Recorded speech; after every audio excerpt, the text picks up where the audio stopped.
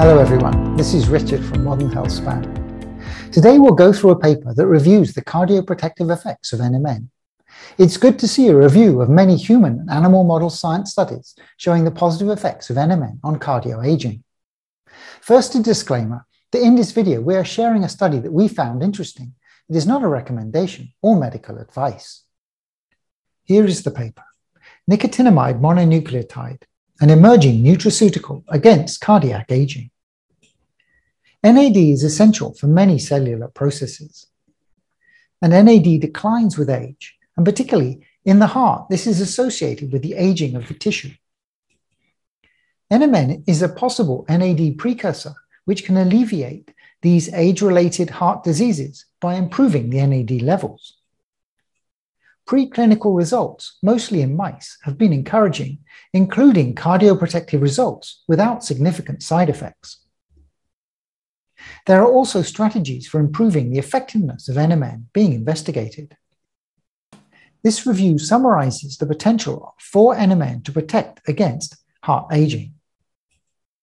Decrease of NAD levels in the heart contribute to changes in a variety of cellular processes, including mitochondrial dysfunction, DNA damage repair, decreased enzyme activity, altered gene expression, and altered intracellular signaling pathways, all of which are closely related to cardiac aging.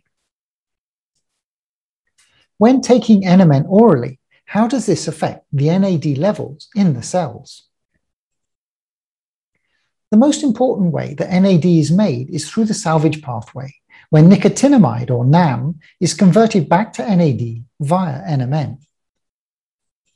NMN, which is taken as a supplement, can get into the cell via NR or nicotinamide riboside. In this case, NMN is converted to NR by CD73, then transported across the cell membrane and converted back to NMN by the NRK enzymes, and can then enter the salvage pathway.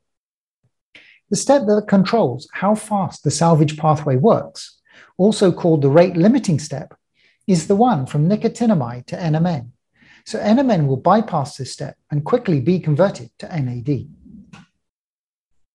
NMN can also directly enter the cell via a transporter, SLC12A8. This transporter is plentiful in the gut, but it is not clear how important it is in other areas of the body. Another form of NMN, the reduced form, NMNH, has a different pathway, either being converted to NRH or directly entering the cell and then being converted to NADH, the reduced form of NAD. In terms of how NAD levels are reduced, the major consumers of NAD are the PARPs, CD38, and the sirtuins, which convert NAD to nicotinamide, which then needs to be recovered by the salvage pathway. What are the physiological effects that have been seen in NMN trials? It has been shown in humans that oral NMN does increase the metabolites in the blood 30 minutes after being taken, with a peak at 300 minutes. After taking NMN for 10 weeks, the NAD levels of peripheral mononuclear blood cells was increased. However, how NMN is metabolized in humans needs further investigation. There are some clinical trials looking at this currently. Here are two of them. They are both being run by Senec, a European manufacturer of NMN. And both are looking at the pharmacodynamics and effects of NMN on healthy adults. Both of these are scheduled to finish later this year, and it will be interesting to see the results of these studies. Turning to preclinical trials, NMN has been used in a number of these and shown to effectively restore homeostasis of the NAD pool in the heart by increasing NAD levels or accelerating NAD plus turnover. I won't go through the animal studies in detail, but the conclusion was that the evidence points to oral NMN increasing NAD levels or increasing the NAD turnover, which ameliorate heart dysfunction. In another clinical trial, NMN supplementation for 10 weeks increased NAD turnover in the muscles and insulin sensitivity, but did not increase the NAD levels. However, in mouse models, it has been shown to significantly increase NAD levels in the liver, kidney, and aorta, implying that it has different effects in different tissues. In their summary for this section, the authors conclude that the results from animal models do warrant further clinical studies to see if NMN is protective of the heart and has anti-aging effects. So the next question is what about the safety of NMN? So far, no significant side effects have been reported. Even for very large doses of up to 2,680 milligrams per kilogram per day, have not shown any significant side effects in mouse models. In humans, this would be the equivalent of about 220 milligrams per kilogram. So for a 75 kilogram person, this would be about 16 grams. Another study showed no toxicity for rats at 1500 milligrams per kilogram for up to 90 days. There have been human studies with NMN, and particularly one in Japan looked at safety and saw no ill effects from any single dose up to 500 milligrams. But they do say more studies are needed, especially for the effects of long term continuous administration.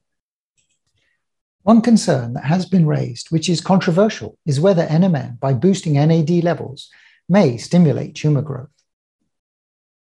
The effects that make NMN protective of the heart may make it supportive of tumor cells. And some anti cancer drugs work by blocking the NAD salvage pathway, and NMN, by boosting NAD, may bypass this. However, there is also evidence that boosting NAD can inhibit tumor growth. As they say, more investigation is needed. The bioavailability of NMN and how it can get across the cell membrane to boost the intracellular NAD is a topic of continuing investigation. So finding formats of NMN which more effectively get NMN into cells is important, as well as how it can enhance the action of other drugs. NMN delivery can be enhanced with the use of quantum dots, nanoparticles to which NMN is attached. We covered this in one of our earlier videos. They do not mention it in the paper, but I would include liposomes as another novel method of delivery that may increase the bioavailability of NMN. In the summary, the authors say that a systematic evaluation of the various NAD boosters, such as NMN, NR, and NMNH, should be conducted. NMN and NR have already been shown to have therapeutic effects. The study of dihydronicotinamide mononucleotide, or NMNH, the reduced form of NMN, is currently in its infancy, but it has shown a remarkable ability to boost NAD and so looks very promising.